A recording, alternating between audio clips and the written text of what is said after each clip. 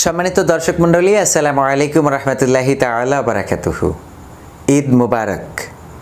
আশা করছি সবাই ভালো আছেন। আলহামদুলিল্লাহ আমরাও ভালো আছি। দেখতে দেখতে চলে আসলো কুরবানির ঈদ। এই তো মাত্র দুই মাস আগে আমরা রমজানের ঈদ পার করেছি। আসলো কুরবানির ঈদ। আবার একটি বছর পরে আমরা কিন্তু এই ঈদটা পেয়েছি। আল্লাহ রবুল্লা আলমিন যাদেরকে বাঁচিয়ে রেখেছেন, আমরা তারাই সৌভাগ্যবান যে আমরা ঈদটা পেয়েছি। দুর্ভাগ্যজনক হলো সত্য যে গত বছর যারা ঈদ করেছে, অনেকেই তারা এই পৃথিবী ছেড়ে চলে গেছে। তাদের ভাগ্যে আর এই ঈদ আসে নাই। আমরা নিশ্চিত নই যে আগামী বছর আবার আমরা এই কুরবানির ঈদ পাবো। ইন্না সলাতি অনুসুকি ও মাহিয়া ও মামাতি লিল্লাহি রব্বিল আলামিন। নিশ্চয় আমার নামাজ, আমার কুরবানি, আমার জীবন, আমার মরণ সব কিছু বিশ্ব প্রতিপালক আল্লাহ রবুল্লা আলমিনের জন্য। হ্যাঁ সম্মানিত ভাইরা আমাদের নামাজ, আমাদের রোজা, আমাদের কুরবানি, আমাদের জীবন, আমাদের মরণ, আমাদের সব কিছুই মহান রবের জন্য হওয়া উচিত। আমাদের সন্তান সন্ততিও আমরা মানুষ করব মহান রবের জন্য, মহান রবের পথে, তার দেখানো পথে। কুরবানির ইতিহাস আপনাদের অজানা আছে বলে আমার মনে হয় না। কুরবানির ইতিহাস আপনাদের প্রায় সবারই জানা। ইব্রাহিম আলহি সাল্লাম স্বপ্নে দেখেছিলেন। কি দেখেছিলেন? সেটাও আল্লাহ রবুল্লা আলমিন কোরআনে বলে দিয়েছেন। ইয়া বুনাইয়া ইন্নি আরফিল মানামি আন্নি আজবাহুকা ফাংজুর মাজা তর আল্লাহ রবুল আলমিনের নবী ইব্রাহিম আলহি সাল্লাম তার সন্তানকে ডেকে বলছেন, হে আমার বৎস, আমি স্বপ্নে দেখেছি, আমি তোমাকে জবাই করতেছি। সন্তান রাগ করলেন না, যে এমন স্বপ্ন কেন দেখেছেন? এই স্বপ্ন তো দেখা উচিত ছিল না। সন্তান বললেন, ইয়া আবাতি ফাল মাতু উমারু সাতা জিদুনি ইনশা আল্লাহু মাসবিরিন হে আমার পিতা, আপনি আপনার কর্ম সম্পাদন করেন। আপনি যেটা স্বপ্নে দেখেছেন, আপনি সেটা বাস্তবায়ন করেন।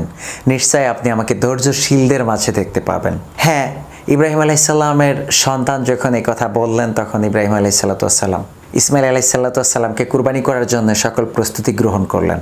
যখন কুরবানি করার জন্য নিয়ে যাচ্ছিলেন, তখন শয়তান ইসমাইল সাল্লামকে ধোকা দিলেন।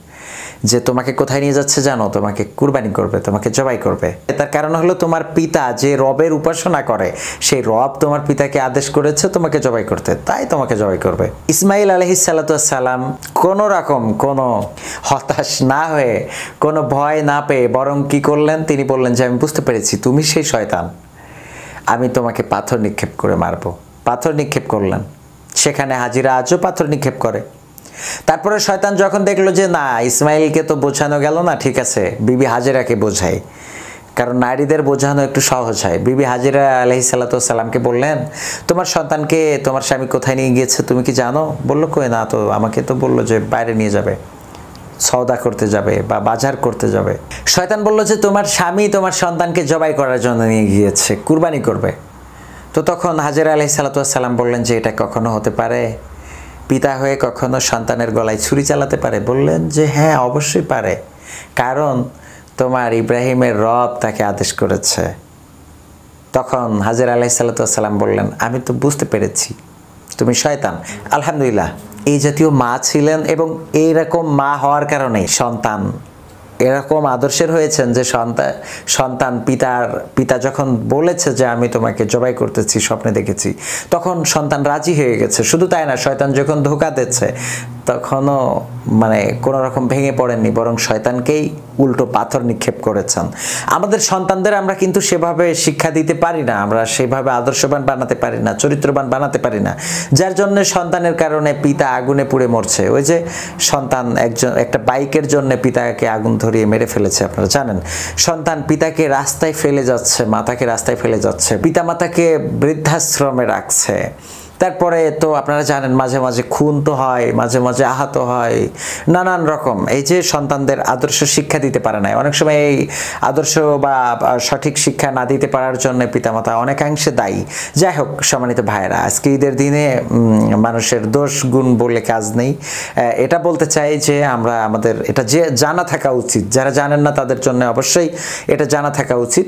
তো যখন ইসমাইল আলাহি সাল্লামকে কুরবানি করবেন, তখন ইসমাইল আলাহি সাল্লাতাম বললেন হ্যাঁ আমার পিতা, আমার তিনটা শর্ত আছে।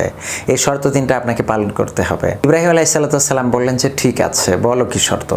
ইসমাইল আলাহি সাল্লাতাম বললেন যে, বাবা আপনি তো আমাকে জবাই করবেন। আমাকে জবাই করার আগে আপনি আপনার চোখ বেঁধে নেবেন। কারণ আপনি যদি আপনার চোখ না বেঁধে নেন, তাহলে আপনি আমাকে দেখে কষ্ট পাবেন। তো এই জন্য চোখ বেঁধে নিয়ে আপনি আমাকে জবাই করবেন। দুই নম্বর হলো আপনি আমার হাত পা বেঁধে নেবেন। তার কারণ হলো যে আপনি যখন আমাকে জবাই করবেন, তখন হয়তোবা আমি ব্যথায় আমার হাত পা ছুটাছুটি করবে। হয়তোবা আমার অজান্তে আমার পা গিয়ে আপনার গায়ে লাগতে পারে। তো এটা তো বিয়াদবি হয়ে যাবে। আমি সন্তান হয়ে পিতার গায়ে লাথি লাগবে। এই জন্যে বাবা, আপনি আমার হাত বেঁধে নেবেন।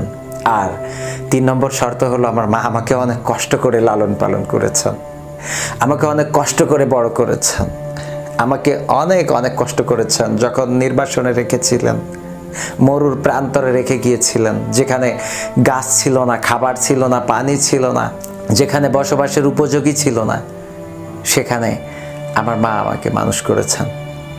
তাই আমার রক্তমাখা কাপড় আমার মায়ের কাছে পৌঁছে দেবেন যেন আমার মা এই কাপড় বুকে জড়িয়ে ধরে সান্ত্বনা খুঁজে পায়।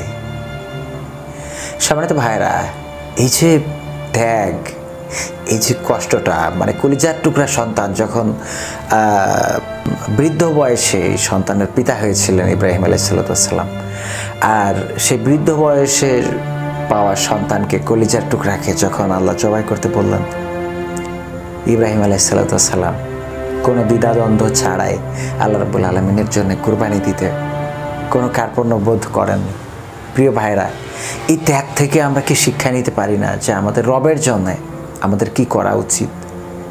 আমাদের কতটুকু ত্যাগ স্বীকার করা উচিত সেই জান্নাতের জন্য? ইব্রাহিম আলাইসাল্লাম কয়েকটা পরীক্ষা দিয়েছেন। তিনটা পরীক্ষা তো দিয়েছেনই।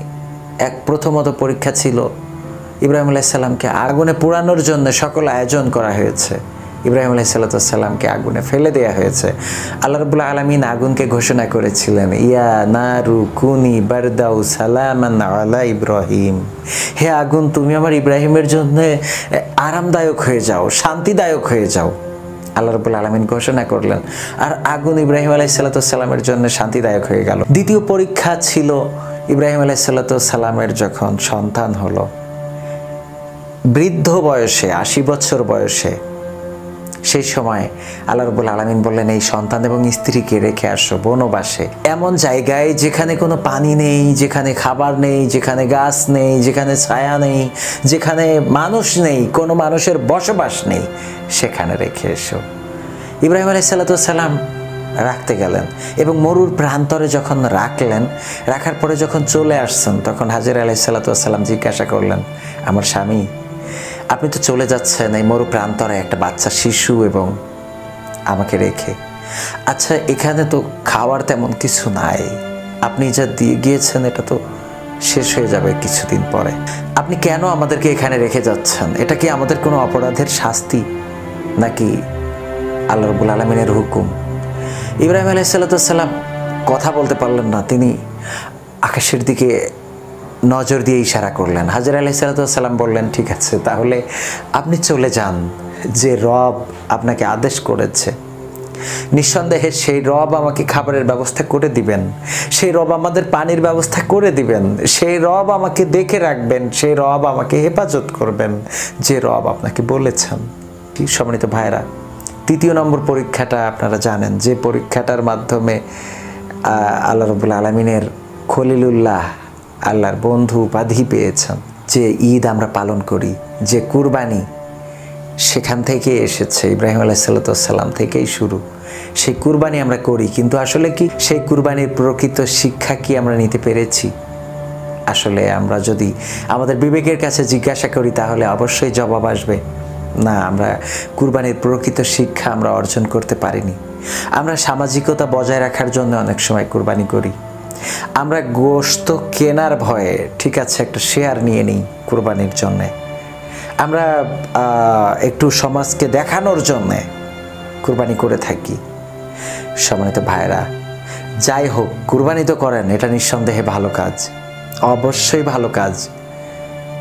কুরবানি যখন করেছেন, তখন অবশ্যই এই কুরবানির প্রকৃত শিক্ষাটা অর্জন করেন, বুকে ধারণ করেন, লালন করেন, তাহলেই কুরবানি সার্থক হবে।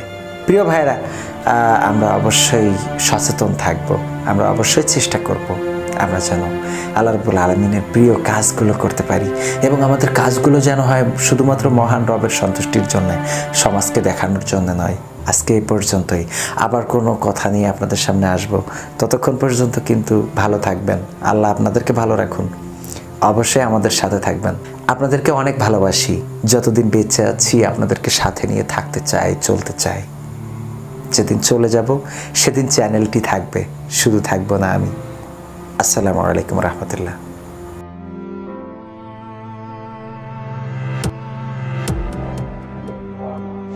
ঠিকানা টিভি ডট প্রেস সুস্থ বিনোদনের বিশ্বস্ত ঠিকানা।